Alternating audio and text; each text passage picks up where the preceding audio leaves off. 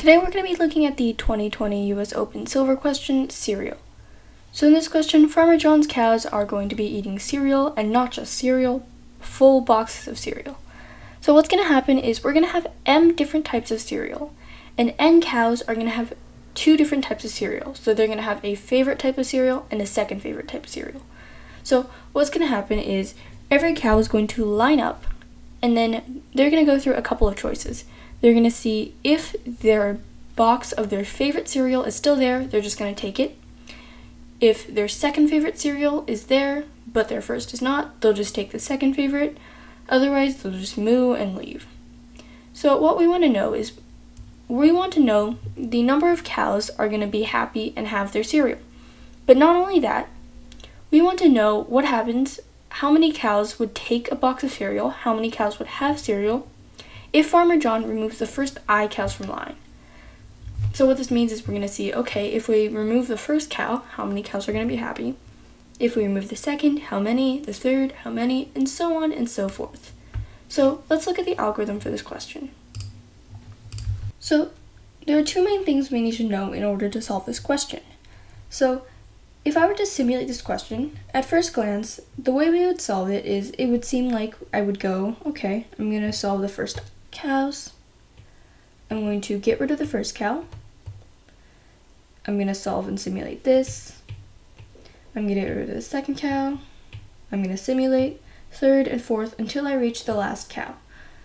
And so the reason this isn't going to work is because it's going to take too much time. So this would be running n simulations, which definitely isn't going to pass. So what we're actually going to do instead is we're going to do something called an offline query. So even though the question asks for the cows to be portrayed in a certain order, we're not going to follow that order. What we're actually going to do is, instead of taking our cows and removing them one by one, what we're going to do is we're going to build them up. So I'm going to start with the last cow. I'm going to calculate the answer here. I'm going to put it in a list. Then I'm going to add the second cow, put that answer in a list, add the third one, put that answer in the list, and so on and so forth until I build up to the last cow. So the benefit of this is instead of doing n different simulations, I'm only going to have to do one. So that's going to be the first main part of this question. The second main part is the reason why at first glance we wouldn't be able to do offline query is because we have a priority.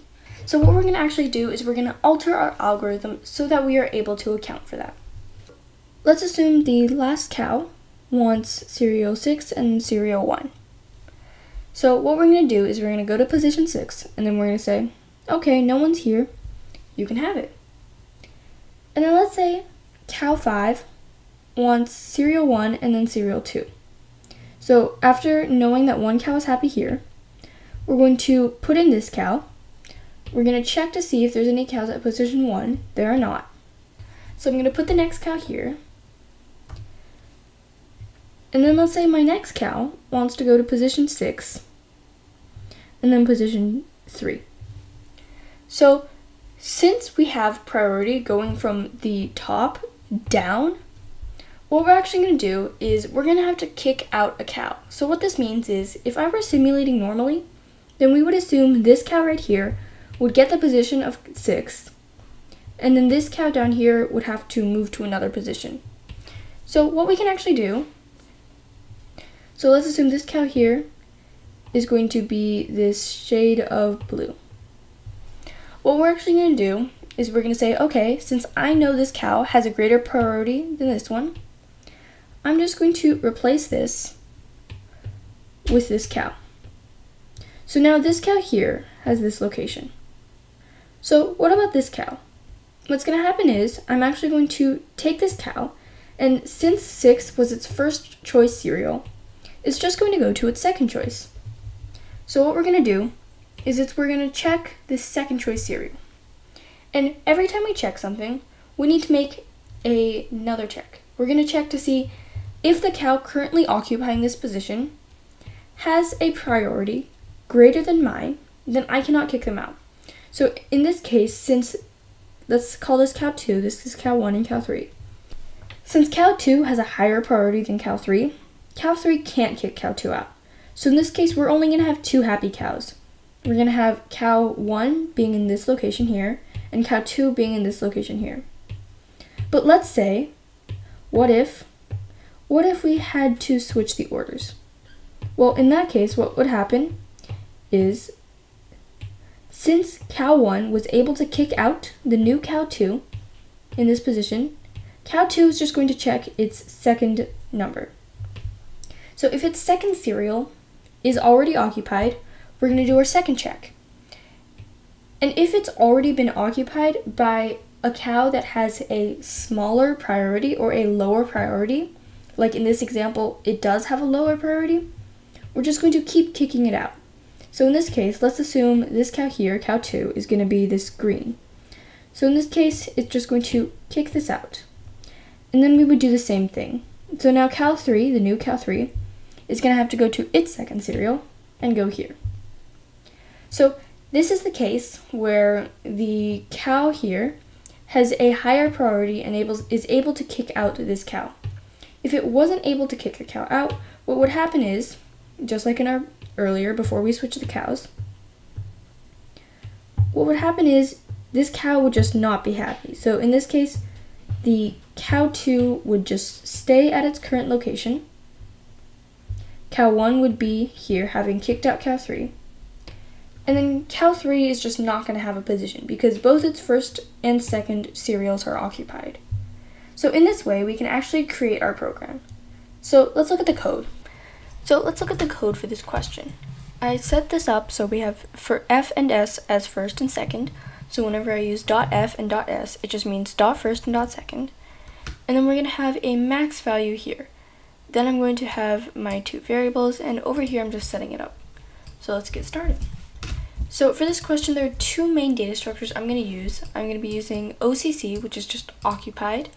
This is just going to tell me which cows are occupying what cereal. So this is going to be size M. And then I'm just going to have the cows with a pair.